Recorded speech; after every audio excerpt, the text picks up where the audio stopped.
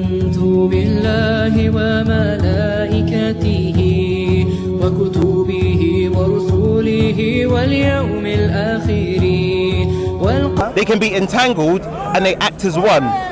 So normal logic says if you have two distinct things, they can only act independently. Science has now, from the time of, that's why you have quantum, the- um, quantum physics, is that they were able to entangle, and it actually the last thing they did, they entangled about 3,000 independent particles, so they acted as one. They all act in unison. So I'm trying to give people a rational to understand the concept of the Trinity before I go into the Bible. Can I respond to Yes. that? Okay. So you're basically talking about the same particle, right? The same particle exhibiting di- in different No. ways. No, it's So is two- it different particle. It's two distinct So particles. two distinct particles. Yes, that's why it's called entanglement. Okay. So when you talk about two distinct particle, Yes. particles, do they behave the same way or different way? The same. The same way. When they're entangled. When they're entangled, so they're- originally they, they act independently. When they're entangled, they act as one. They act as one. Yeah, they can't be described as independent. Now, how is that related to the Trinity? because Because we know that the Yes. Trinity doesn't act as one. They act, they have different roles, don't they? Yes. They have differently. But you- so they're different persons Yes. acting differently, and hence they're distinct, as you said Okay. earlier. So- based on the creed, Yes. these three are distinct, having distinct roles. But you say that they have the same essence, Yes. and even that I proved to you from our last conversation Yes. that one has two natures, and the other two have only one nature, Yes. i.e., the divine nature. Okay. The divine nature is not the same as a human nature. Okay. Hence, they But- do not even have the same essence. Yeah, They have a different essence. But now we're jumping. We're- we're- we're- yeah, we're starting. Let's start off the elementary. Can three be described as one? That's why I went to science because that's the first point I want to address. Not the nature of Christ that we will get to, but the whole. That's why I asked you very specifically. Can something more than one be described as one? You said no. Then I had to go to quantum uh, um, quantum physics to show you actually you're wrong. So, something more than one when it's entangled can be described as one because something more than one is described as independent. When you have quantum entanglement, they're both described as interdependent. They're not so you're saying two particles become one particle? they act as one. They cannot it be described. become one particle. They, no, they're distinct, but they act in unison. They cannot be. Okay, Scientists so all say. you're saying is two particles acting together. So- That's all you're saying. Am I Yes. right? They- They, don't become one particle. they don't merge together. Good. So at the end of the day, we are not talking about just like the way you're saying one being. Okay. Yes. Yes. In three persons. Yes. And remember, I asked you last time. I don't know if you've got the answer this time. Okay. Can a person be defined as a being? Can a person? Yes, they can. They can. Yes. So we are talking about three beings in one being. Okay. Is that right? You're talking about three persons. No, three beings Three in one being. persons. Three per- no, they're not three. Remember, you said beings. just like you said, Yes. a person can be defined as a being. Yes. So Jesus is a being. But that's a human being. We're not talking about. That is a human. not I didn't use the word human. Yes, I said a I'm- being. I was referring to Okay, human. I wasn't referring to human. Okay. I was referring to the Trinity. Yes. In the Trinity, you believe three persons as one being. Am I right? Yes. Am I right? Now, one person within the Trinity, Yes. Mm-hmm. can that one person, say for example, the Holy Spirit, Okay. can the Holy Spirit be, de- be defined as a being? They are three persons. No, just answer this and question. one being. Just answer this question. Can the Holy essence. Spirit be defined as a being? Under what terminology? Do you know the meaning of being? Give me your example. No, I want to know yours because your, mine, it is mine your is, creed. Yeah, mine is different from yours. My friend. So that's why I'm asking okay, you what so give me yours then. So, in terms of they are one being, they share one essence, they are one No, no, God. define being to me. What is a being according to you? In that context. So, in terms of a personhood, No, you have three persons. Being, being, just a being. Okay. Forget about the word person for a minute. Okay. Just define the definition of a being in the context of the Trinity. Okay, so in terms of being, we'll describe a being as God, and they God Being has, is a God. I'd say in terms of the Trinity, God is a being. God is a being. Yes. I'm not asking you what is God. Okay. I'm asking you define the term being. Okay, so a being would be an entity that can communicate, that can reason, that can uh, create, that can, yeah, yeah, that can speak, communicate. Okay. So stuff. based on that definition, Yeah. is Jesus a being? is Jesus? The second person of the Trinity, the Son, is the Son a being based on that definition? Okay, so first of all, Are you going to answer? No, no. Are you First of all, answer the question? Wait, let me. First of all, we're jumping again. No, no, no, answer because- that question. Because you wanted to go to the Look, scripture. look, look, look, you define Wait, a being, no. now answer the question, very but- simple. See, we're jumping. No, you're the one to people the need to. now. No, no, but you, no. You, I'm not changing the topic because you. First of all, you asked me, can I prove from the Bible there is a multiplicity in God. Now you're asking about something else. Yes, that's why I said let me go to the Bible and address that point because we're going further ahead in the conversation. but so look, let's go to the scripture We, and see. You're the one who talked about Yes. one being, three Okay. persons. Am I right? Yes. All I'm asking is to define and el- elaborate on and I, what you and I just said. and I did define. You said you said a being is someone who, who basically communicates, who Yes. has. Did you say consciousness? I don't know. Did you? someone that can communicate, that Yeah. can reason, that can, Can bring reason. into life. Does it have consciousness Does it have consciousness? of yes. its own? What do you, what, Of its own. What, what do you mean? Consciousness of its own. But what Is it mean by of it? self-aware? Is it self-aware? A being would be self-aware. Okay, so being is self-aware. Doesn't all that fit the second person of the Trinity? Pardon?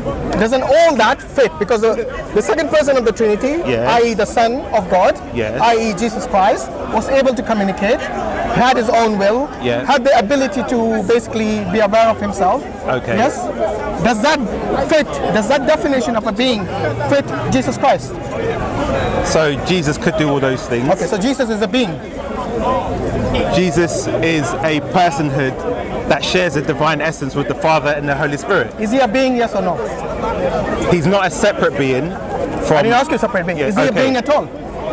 He is a person that can communicate and is part of the divine Godhead. Is he a being or not? Very simple. Come on, I'm not playing games here. Okay. I'm just asking you a simple I'm, question. I'm answering. No, you're not. You're not You're not telling me if the person that Okay. you're talking about is a being or not.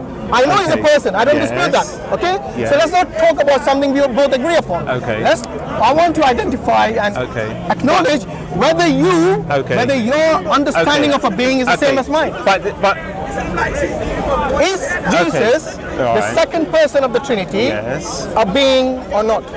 is he a being? It depends on what your definition of being is. I'm not is. saying by your definition. and I gave you my definition. Okay, good. So based on your definition of Yes. the being, is he a being? Is Jesus Christ a being? The second person of the Trinity, the Son, based on your definition of a being, is the second person of the Trinity a Based being? on my definition, yes. Good. So we got a being inside a being. That's your definition. No, I'm asking you. I said my definition, yes, not your definition. Look, I'm asking you. Yes. You're saying three persons in one being. That Yes. being is God. Yes. Okay? Jesus Christ is also a being, which you just confirmed. Okay. Unless you want to backtrack on that. Are you sticking to that? Jesus Christ is also a being. Say it. Say it again. I'm misunderstanding what you're trying I'm to talking communicate. English here. Okay. Say okay? it again. And if there's something you misunderstand, please Okay. ask me. Yeah, that's what I'm saying. Okay. Say so based on your definition of a being, Jesus Christ is he a being or not? Is Jesus a being? Based on your definition of a being. Okay. Jesus is a being that is not separate from the Father or the Holy Spirit. Okay, so he's a being who's not separate from the Father or the Holy Spirit, but he's still a being. He's still a being, right? So now we have a being inside a being. But again, And this there is only one person- Again, this is going to your definition. This No, is not what I said. Okay. No, I Did said you to not you. say a person, three persons inside a being? Did you not say that?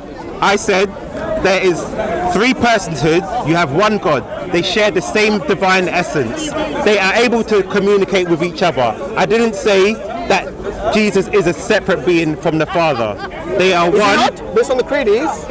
They are they are dis- the they are creed, it is. distinct personhoods Yes. of a divine essence. No, when you say distinct personhood, what do you understand by that? So, for example, How are they distinct from So one for, another? for people to understand, the Trinity is like water. Water can have uh, be like ice. It can be like in the liquid form or gaseous form At the same time?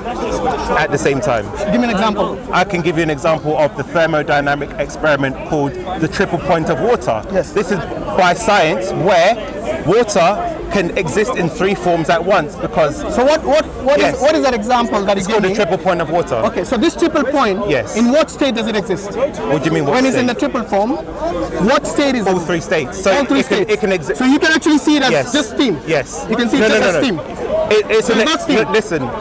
Can you see it just as water? Okay. As liquid what, only. what is your point? My point is, if at the same time Yes. it exhibits all three properties of, Yes. of uh, water, ice, and steam, Yes. then yes, you might have a point. But I'm asking you, at that point, That's my point. when it's in, is in its triple form, Yes. is it in the form of steam only? No. No, it's not. No. So what is it in the form of? So the triple point of water is a thermodynamic experiment. Now, what is it in the form? So what they- form is it? Is it in steam form? Yeah, I'm explaining to you. Yeah, go on. It's they it, when they create the experiment, water will exist as a liquid, gas, and ice all at the same time, and you can observe it with your eyes. They you seen create- Have you seen it? yes, you You can go. it? You can go on YouTube and watch it. No, but have you seen this as? I've watched it on Okay, so YouTube. what, what did it appear to you? you can see all Because three. you know when I see steam, I don't see ice. Ex- Do you see ice? Man, uh, Hashim is making himself making an ignorant statement. Everyone go on YouTube and type the triple point of water. It's a well-known thermodynamic experiment. This is why at the beginning I said to Hashim, it's not what you know, it's what you don't know. Because what you don't know will make, come back and make you look foolish. Because you, You know, by the way, I didn't make any statement. I'm not. Yes, so I'm far you. asking him Yes. because he's seen it on YouTube. I haven't.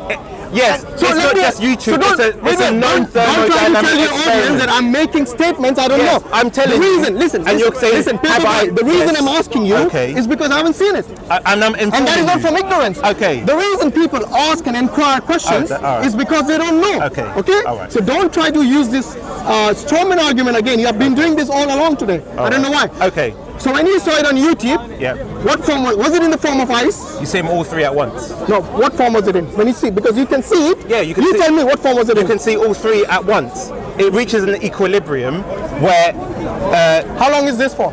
it How long does it last? It can be for infinity. Because infinity. basically, water, it freezes when the pressure reaches a certain level. Yeah. And obviously, when uh, I think the temperature is at a certain level, that's when it turns to gas. So they control the pressure and the temperature, which causes an equilibrium where they all coexist at once. And this equilibrium can long last for as long as as they want to. Right. And when you see it, what do you see? Because you know when when you observe something with your